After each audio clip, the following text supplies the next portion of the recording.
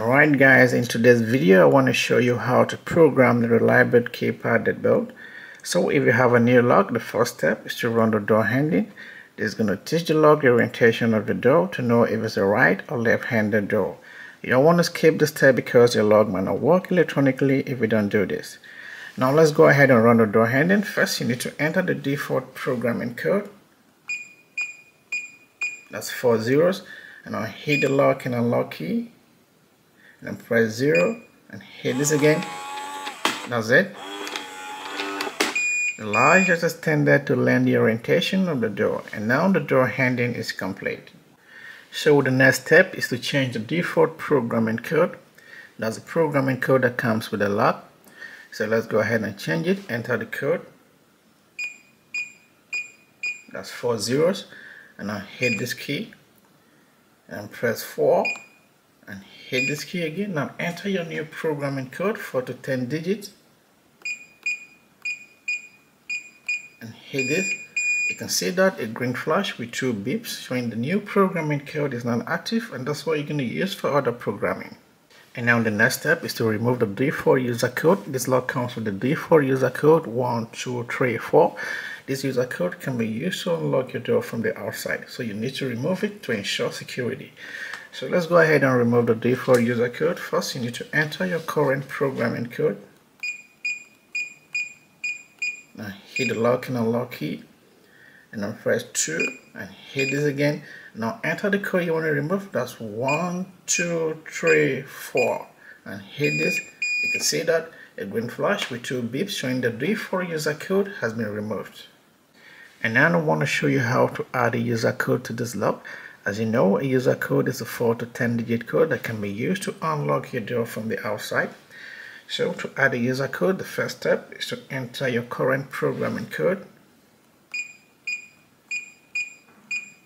And I'll hit the lock and unlock key and then press 1 and hit this key again. Now you need to enter a new user code 4 to 10 digit and hit this key you can see that a green flash with two beeps showing the new user code has been added.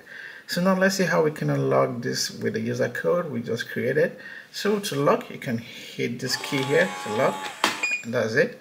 And now to unlock, you need to enter a user code. So let's go ahead and enter the user code we just created. So that's 5544. Hit this. So that's it. That's how to lock and unlock the Reliabilt keypad deadbolt from the outside using the user code.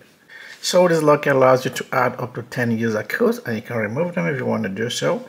So if you want to remove all user codes at once, here's how to do it. First, you need to enter your current programming code. Now press the lock and unlock key and then press 3 and hit this key again. You can see that a green flash with two beeps showing all the user codes have been removed from this lock and now the auto lock to turn it on. First you need to enter your programming code. Now hit the lock and unlock key. Now you need to press 5 and hit this again. You can see that a green flash with two beeps showing the auto lock function is now active so now your door is going to lock after 30 seconds where you can set your own time if you want to set your on time, you can go ahead and do this. So enter your programming code. Now hit lock and unlock key. And then press 6. And hit this again. And now you want to enter your time, 10 to 99 seconds. And hit this. You can see that your time is now set.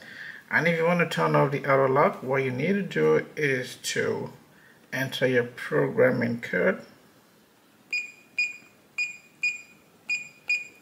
press the lock and unlock key and then press 5 and press this again that's it the auto lock is now turned off and now I want to show you how to reset this lock. If you have lost your programming code, you can reset the lock to restore the factory default settings and then use the default programming code to reprogram the lock. Now let's go ahead and reset this lock. First you need to go to the interior assembly of the lock. So here you need to take off the battery cover, slide up to remove it. And then there's a pinhole here. So you need to get a pin like this and then insert it into the hole now you need to press and hold it hold it for about five seconds and once you hear three long beeps the reset is complete. So you can now go ahead and run the door handle. Don't forget you need to run the door handle before any other programming. It's going to take a log the orientation of your door to know if it's a right or left-handed door. So that's how it works. That's how to program the Reliabilt keypad deadbolt i hope this video was helpful. And if so please hit the like button and subscribe to this channel for more videos like this. Thank you for watching. See you in the next one